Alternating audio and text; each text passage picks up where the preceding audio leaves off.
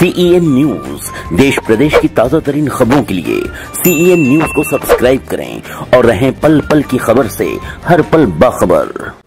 नमस्कार, मैं हूँ राज पांडे, आप देख रहे हैं सीएन न्यूज़ आइए देखते हैं आज की खास खबर।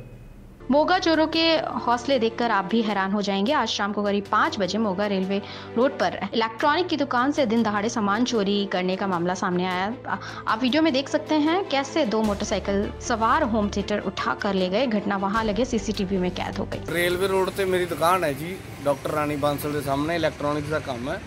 ਤੇ ਮੇਰੇ ਦੁਕਾਨ ਦੇ ਬਾਹਰ ਸਮਾਨ ਲੱਗਾ ਹੋਇਆ ਸੀਗਾ ਕਰੀਬ 1 ਘੰਟਾ ਪਹਿਲਾਂ ਮੈਂ ਦੁਕਾਨ ਦੇ ਬਾਹਰ ਸਫ਼ਾਈ ਸੁਈ ਕਰਨ ਆਇਆ ਸੀ, ਝਾੜ ਪੁੰਜ ਕਰਨ ਆਇਆ ਸੀ, ਦੇਖਿਆ ਮੇਰੀ ਦੁਕਾਨ ਦੇ ਬਾਹਰ ਇੱਕ ਹੋਮ ਥੀਏਟਰ ਪਿਆ ਸੀ, ਜਿਹੜਾ ਉਹ ਨਹੀਂ ਸੀ।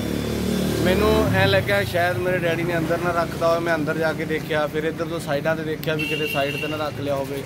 ਪਰ ਉਹ ਮੈਨੂੰ ਨਹੀਂ ਮਿਲਿਆ, ਫਿਰ ਮੇਰੇ ਨੇਬਰ ਹੈਗੇ ਆ, ਅਰਜੁਨ, ਉਹਨਾਂ ਦੇ ਕੈਮਰੇ ਲੱਗੇ ਹੋਏ ਆ। ਮੈਂ ਉਹਨਾਂ ਦੇ ਸੀਸੀਟੀਵੀ ਕੈਮਰੇ ਦੀ ਫੁਟੇਜ ਦੇਖੀ ਜਾ ਕੇ, ਤੇ ਦੋ ਲੜਕੇ ਮੋਟਰਸਾਈਕਲ ਤੇ ਆ ਰਹੇ ਇਧਰੋਂ, ਗਾਂਧੀ ਰੋਡ ਵਾਲੇ ਪਾਸਿਓਂ ਮੇਰੀ ਦੁਕਾਨ ਤੋਂ ਲੰਘੇ ਆ।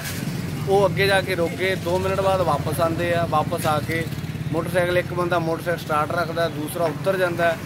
ਉੱਤੋਂ ਦੀ ਘੁੰਮ ਕੇ ਆਂਦਾ, ਮੇਰਾ ਮੋਟਰਸਾਈਕਲ ਖੜਾ ਕੇ ਉੱਪਰਲੀ ਸਾਈਡ ਤੋਂ ਘੁੰਮ ਕੇ ਆ ਕੇ, ਉਹ ਹੋਮ ਥੀਏਟਰ ਚੱਕ ਕੇ ਤੇ ਦੋਨੋਂ ਭੱਜ ਜਾਂਦੇ ਆ ਜੀ ਇਹ ਬੜੀ ਗਲਤ ਗੱਲ ਹੋਈ ਹੈ ਜੀ, ਮੇਰਾ